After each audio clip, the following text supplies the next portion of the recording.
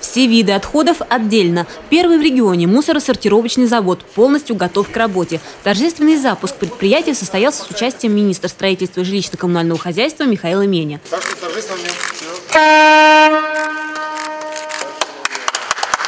На предприятии будут извлекать из твердых бытовых отходов ценные утильные фракции. Все виды пластика, картона, бумаги, стекла, черных и цветных металлов.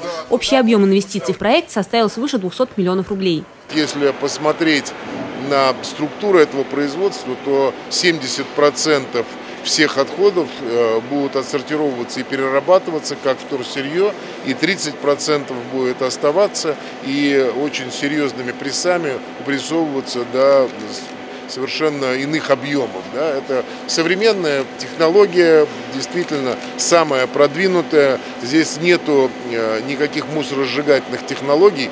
Первый камень в основании мусоросортировочного завода был заложен еще в 2014 году, а идея построить подобное предприятие в нашем регионе родилась еще раньше, 10 лет назад. Завод – это э, настолько он необходим, настолько он нужен, это как воздух, потому что он не перерабатывающий, он не сортирующий. Это то, что отделяет полезные фракции от втор, э, э, от хвостов так называемых. То есть то, что может переработаться безопасно для природы – то есть гноение, там, переработка какая-то, это надо отделить от полезных фракций. Вот наша основная задача. То есть сохранение ресурсов раз и сохранение природы два. Вот эти вот две важных вещи. При строительстве завода использовали современные технологии. Полы и стены с учетом потенциальной опасности отходов покрыты специальными составами. Установлена мощная система вентиляции. Большая часть работы на конвейере, по которому теперь будет перемещаться мусор, ручная. Штат сотрудников не без сложностей, но уже укомплектован. Заработная плата работников составит 85 рублей в час час. У нас около 80 человек будет работать при полной загрузке.